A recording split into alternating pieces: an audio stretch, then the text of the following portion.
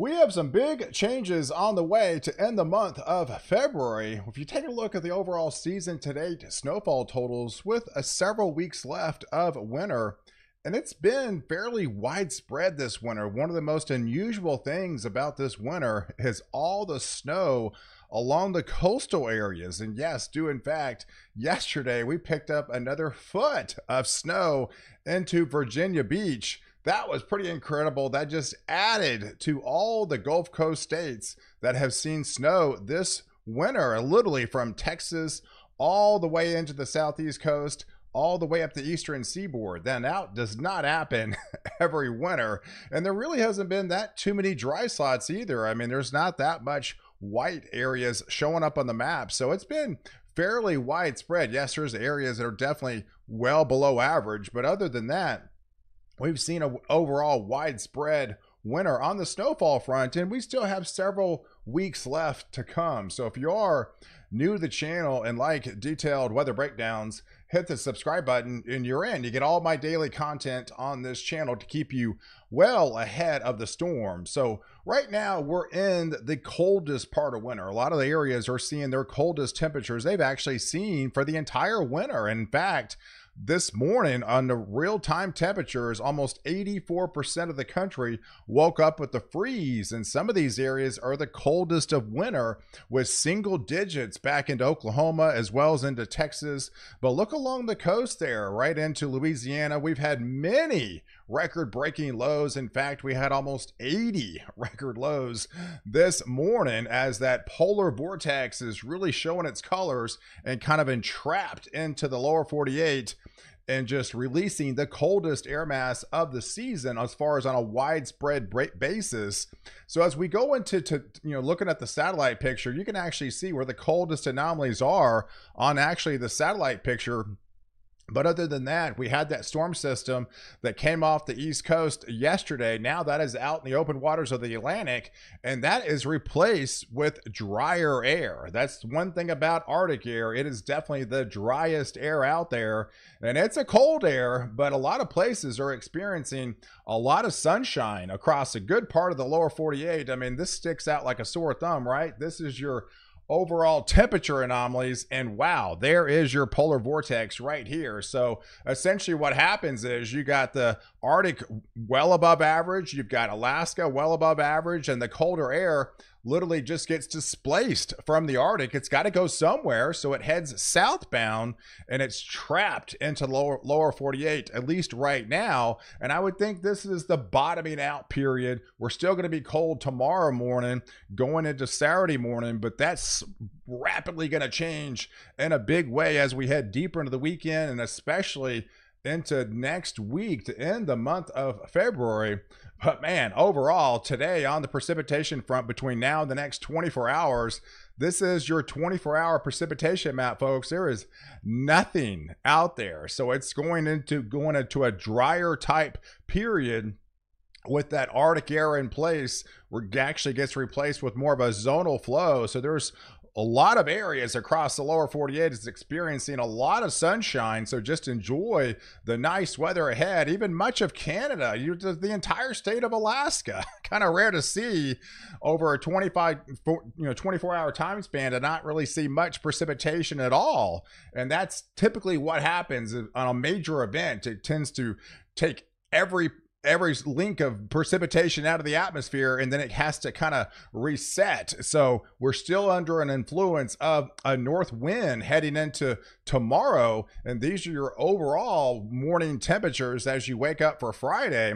In fact, we're estimating about 58 record high, record low temperatures then, especially across the middle part of the country. But even though areas across the Ohio Valley into the Northeast won't actually experience daily record lows, you're still going to be on the cold, cold side. Single digits back in there in Kentucky, single digits there in ten- Tennessee. But look, it goes down to 20 degrees there in Georgia, 25 along the coast, 25 degrees there in south southern portions of Louisiana. That is your influence of that Arctic air really entrenched. So, but all that changes starting the beginning stages as we head into the weekend because guess what happens?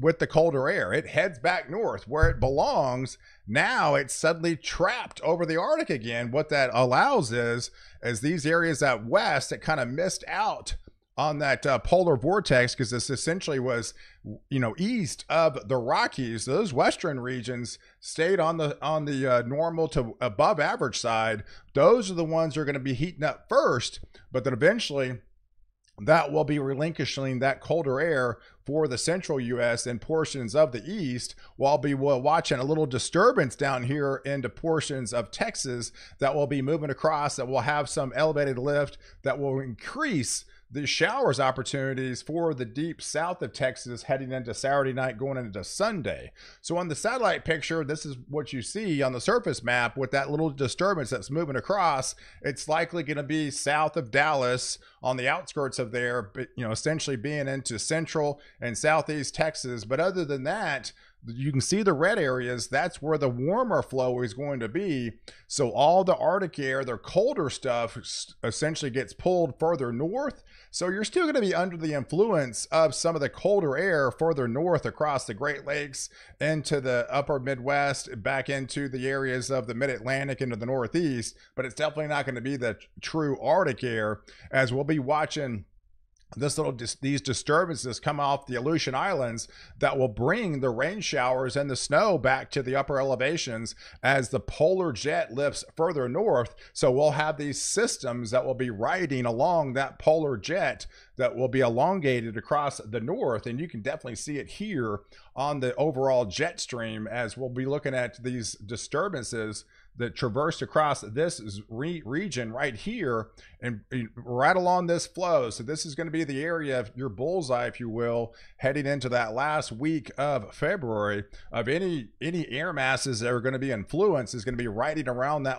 riding along that polar jet as we have more of a drier zonal flow taking shape across further those areas across the southern region. So, you know, dry air cools quick and dry air also heats up quick once the winds turn around. And the winds will be coming around to the south as we head into the weekend, but especially into early next week. And as we get into Monday, you can definitely see it doesn't take long, folks. We've got above average temperatures really spreading it in across a good part of the country. So we go from this solid polar vortex this morning to Monday looking like this. So it rapidly changes. Now, obviously, this isn't hot by any stretch of the imagination, but this is definitely above average for late February standards as is going to be quite the change of what many areas have experienced over the last week or two with that colder air intrusion. And even up the upper levels of the atmosphere, it's warm as well. So it's going to be warming up literally all layers of the atmosphere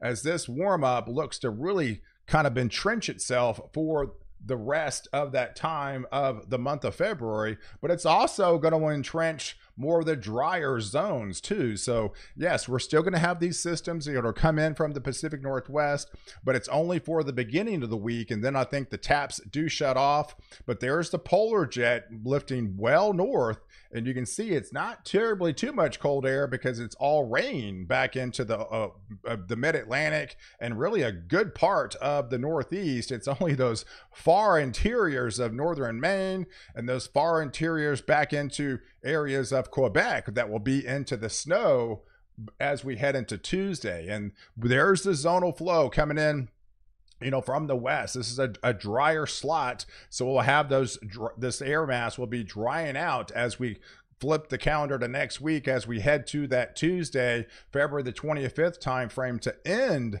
the month of February. A good part of the lower 48 is going to remain on the drier side. So even though the colder air will be gone, the warmer air will be replaced, but it's still going to be overall dry. So just expect a lot of sunshine, actually a nice weather pattern coming ahead for about a week or so as most of the polar jet the, the most instability if any if, there's any instability whatsoever it's going to be the far interiors of the north. So yes areas apart across uh, wisconsin back into michigan those areas across the northeast could get some rain and then some snow as we head into deeper into next week. So by Wednesday, we're still in that warm up. So I do feel like the week the weekend warms up and then definitely Monday, Tuesday, and Wednesday for next week is entrenched in that well above average uh, temperature anomalies, but you can see where the cold air is. We do have another influx of some of that cold air trying to come back that's going to be hitting the parts of the Great Lakes. And when it does by that Thursday, the 27th of February, it's going to link link up with another disturbance that's going to be moving across that polar jet and those northern interiors are going to be seeing some snow because they're going to be seeing some snow you know colder air mixed back into the picture across wisconsin and back into michigan and then further south it's just going to be a, a, an all rain event for areas of northern uh, illinois and back through the ohio valley and this is going to be moving fairly quick from west to east so i don't really feel like it's going to stay around that long to leave any decent amount of precipitation. It's going to be moving rapidly pretty fast as most most of it will be more of a zonal flow and overall drier flow in in the week ahead for next week. And definitely for the seven day period on the precipitation front not only are we looking at lighter amounts to next to nothing for tomorrow but if you add all the days up for the seven days heading into the end of february there's really not much precipitation. So, yes, you have that little disturbance that comes across the deep south of Texas, but overall, that will just only really affect the I 10, I 20 corridors, maybe some areas in the I 30 corridor with the, some pockets of heavier rain, some maybe one inch isolated totals. Uh, but other than that, we've got the um, you know the the the flow coming off the Aleutian Islands that will bring some elevated rains for at least a day or two for the Pacific Northwest, and now it's going to be a deluge for a couple of days, and then those taps will dry out and then there is the polar jet, and most of this comes in by Wednesday and Thursday of next week. And of course, the the elevated snow that's going to be hitting the picture by then. So for the snowfall total between now and adding to those totals to the end of the month, we'll be adding some snow across the Intermountain West, and then some snow as we go into late next week for Wisconsin, back into Michigan, but not terribly too significant totals. It'll be trapped well north and into Maine and back into Quebec as we end the month of February. So, guys, I appreciate you guys watching. Do like this video. Definitely hit the subscribe button and catch the next update. Why I protect you before and after the storm.